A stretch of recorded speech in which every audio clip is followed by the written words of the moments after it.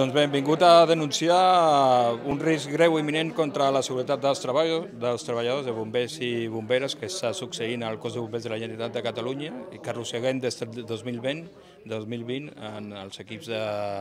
d'aire, en els equips de respiració autònoma, eh, que estan patint unes incidències eh, que en un eh, principi solament afectava una part eh, que era el manòmetre, però que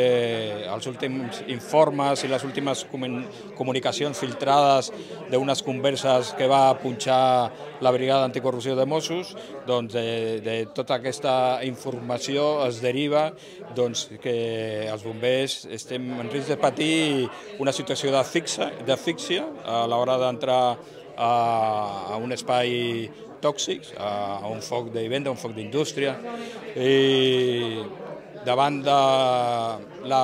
incompetència de nostres gestors que ens han, que ens han posat en aquesta situació, que venim denunciant des del 2020 i que ara resulta que hi ha informes eh, que suposadament s'han amagat, durant l'exercici dels anteriors consellers, el conseller Samper i el conseller Buc, doncs nosaltres eh, hem traslladat a Fiscalia doncs, que investigui si hi ha indicis de delicte en, aquestes, eh, en aquesta manca de previsió i de prevenció que ha posat en risc eh, els bombers i a la ciutadania, perquè si els bombers eh, pateixen durant la seva intervenció doncs no podrem fer els salvaments ni, ni el rescat. Hem demanat davant del jutjat eh, unes mesures cautelars que ahir a última hora Interior va entrar a negociar, però que insistim, portem dos mesos demanant-les, i, i que les mesures correctores que està implementant